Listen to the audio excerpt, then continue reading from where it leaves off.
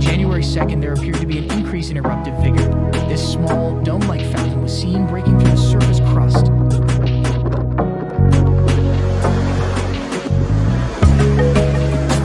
In this video, the dome fountain is estimated to be 16 feet high and about 33 feet wide.